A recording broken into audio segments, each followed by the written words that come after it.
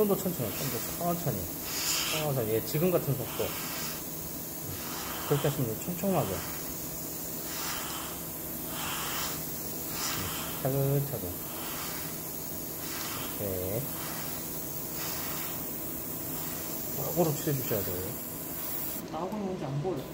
바닥에 뿌려보세요, 바닥에다가. 까만 데요. 그런 데다가. 당겨보고.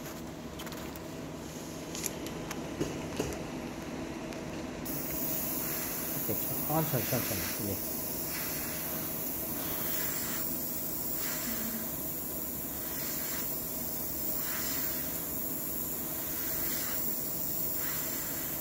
펄이 뭉갤 필요가 없는 녀석들이라서 뿌리다가 안 나오는 것 같으면 뒤에 조절라서 살짝 한번 풀어보세요. 풀어 바닥에 당겨서 이게 잘 나오는지 체크해 보시고. 응, 나오 오케이, 오케이.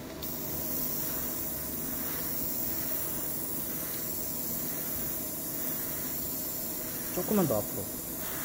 예, 어, 보여요. 그러니까.